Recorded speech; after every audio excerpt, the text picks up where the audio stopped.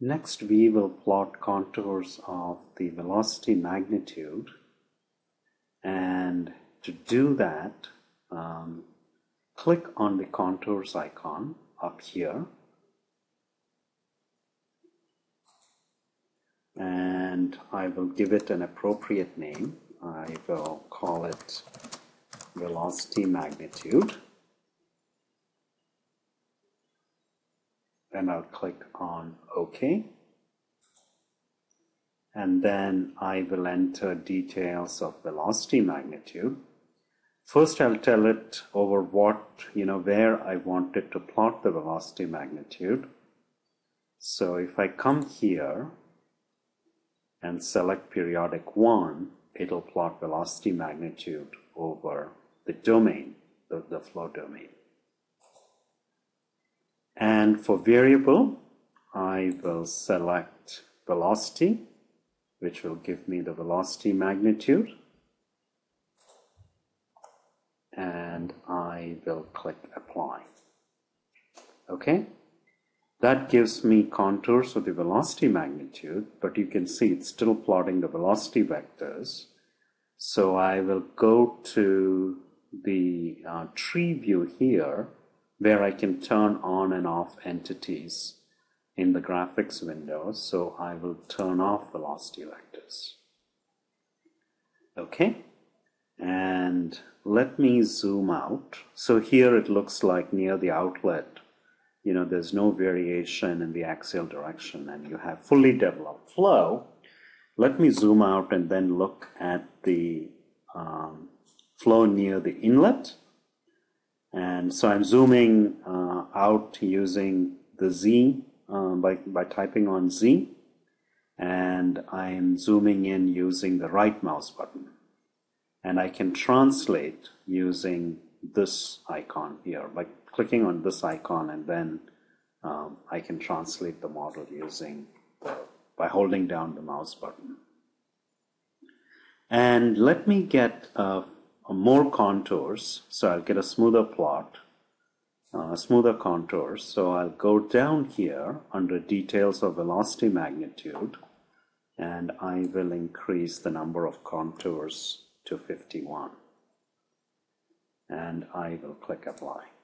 So you see I get a smoother um, smoother contours and here the flow velocity is 1, which is close, you know, which is uh, the average velocity. And then the flow near the wall is, is slow because of the no slip condition. And then as one moves down, one can see that the flow speeds up away from the wall because of flow development. And then around here, you can see there's not much variation in the axial direction, which, which indicates that the flow is probably pretty close to fully developed, if not fully developed, um, in this region.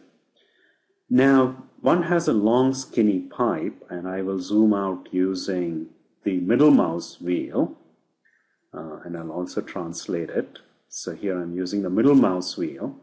And so to visualize the entire domains for this long skinny pipe, I can stretch out the pipe in the radial direction in the view. And to do that, I will go under view and I will um, click on, I will select apply scale and I will scale it by a factor of 10 in the radial direction. I'll stretch it by a factor of 10 in the radial direction. And so that gives me uh, a better view and I can click on Z to fit the entire um, domain in the graphics window and I can zoom out using the middle mouse wheel. And this thing here is the wireframe, this black line, which has not been stretched, right? So let me turn that off by going here and clicking there. And in order to visualize this better, I can also reflect this about the axis, uh, and that'll look like a cross section through the pipe. So in order to do that, go back to details of velocity magnitude, view, and select apply reflection mirroring. And we want to mirror it about the ZX plane, which is the plane normal to the screen.